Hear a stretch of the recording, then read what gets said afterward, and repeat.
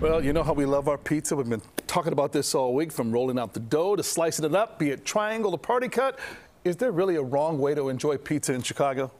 Some would say there is. Yeah. I mean, there's a lot of debate over tavern style Mm. or deep dish. There's pizza passion. Oh, there's lots of it's- there's lots of real. angst here, and it's time to announce the Chicago Pizza Champion after so many of you took to our Twitter page to vote and vote and vote. CBS Yes. 2's Jackie Kostek with the championship contenders, Lou Malnati's and Vito and Nick's.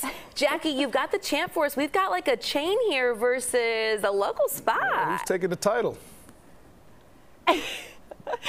Yeah, Ryan and Audrina, we've had so much fun all morning long, but really all week long, starting with our Sweet 16 of our Chicago Pizza Tournament. But it has all come down to this moment. We've been breaking it down uh, phase by phase, round by round all week, and we've come down to the final two. But we're actually, we've got the whole final four. So this is like an embarrassment of riches this morning. Joe from Aurelio's, what are we looking at here first? Uh, we have our signature Super Six and our classic cheese and sausage. What do you experience when you bite into your pie? Uh, it's the homemade light crispy crust, our homemade sausage, and it's the sauce. Classic sauce, classic sauce. Sean from Pequod's, tell me about what we're looking at with your deep like, dish pie Classic pepperoni pizza and our signature sort of sausage pepperoni go-to. and the caramelization. The caramel, it's a sweet, bready, crispy crust that just melts in your mouth. you don't even have to tell me how you feel because you just told me. You can't stop eating it. I love it. All right, we're going to move on to Rose and Nick from Vito and Nick's. Uh, good morning to you. What are we looking at?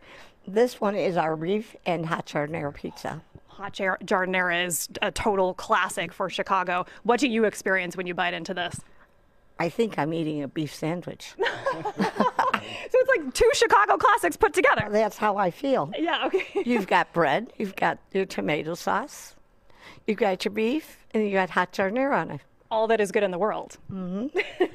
All right, and Rick from Lou Malnati's on the end. What are we looking at? We got a pepperoni and then we got the Chicago Classic. Mm. What do you experience when you eat this pizza? You told me you just had some yesterday when you were watching basketball. I'm always eating pizza, but it's like, you know, like a symphony of flavors, right? But it's the crust, I think, that separates our pizza, and it's the butter. It's special. All of the pizzas out here are special today. I was saying all morning long that there are really no losers when it comes to the Final Four all, or all of the Sweet 16, but there really is only one true winner. But let's talk a little bit about the history of these two spots. So, Lou Malnati is, I know it was your dad who started it, right? My dad, Lou, 1971, 52 years ago. Oh my gosh. And how did it become what it is today? You know, we've had great employees, you know, just people that have been part of our family. So it's just a family tradition that, uh, you know, a lot of people are working really hard, just like these guys, you know, people that worked hard and, you know, just grew the business. I think what's really special about our Final Four today is we have two of the bigger chains in Aurelio's and Lou Malnati's, and two of the uh, smaller places with Vito and Nick's with one location, and Pequod's with the original suburban location and the Lincoln Park location. And we also have two deep dish pies and two thin crust pies, which is super special. Okay, Rose, talk a little bit about the history of Vito and Nick's. Vito and Nick started, the actual pizza started uh, fall of 1945. However, we started our business in 1920. And it, my grandfather had a tavern, speakeasy at first, and then moved in. But my grandmother did all the cooking. And while my dad was in service, she he asked her to find a recipe for thin crust. And when he came home from the service, she had perfected it.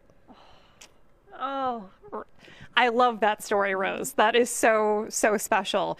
And give a little shout out to your fans because when we talk about the folks that oh, have been on social For our media. fans, Yes. we wouldn't be here today. I want to thank everybody who comes to us. You all. Yes.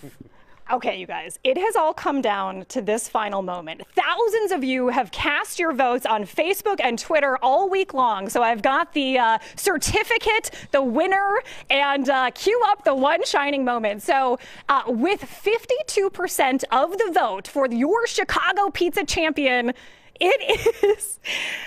Oh, drum roll, drum roll. it is Vito and Nick's, and I really, yes, it is Vito and Nick's with 52% of the vote. Bragging rights. You have so many bragging rights. How do you guys feel this morning? Wonderful. yes. Really. Nick, what about you? Awesome, awesome. Yeah.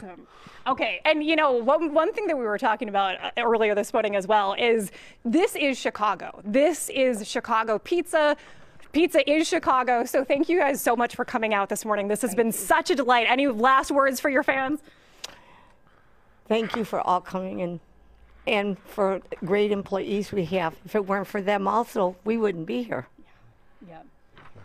You guys, all of these places have been saying all morning long that they, of course, did struggle during the pandemic and, of course, with the labor shortages as well. So if you love your Chicago pizza places, this is your call to action to go to support them um, in their restaurants and ordering delivery as well, because we got to keep all of these special Chicago places in business. I didn't even hand this to you. oh my gosh.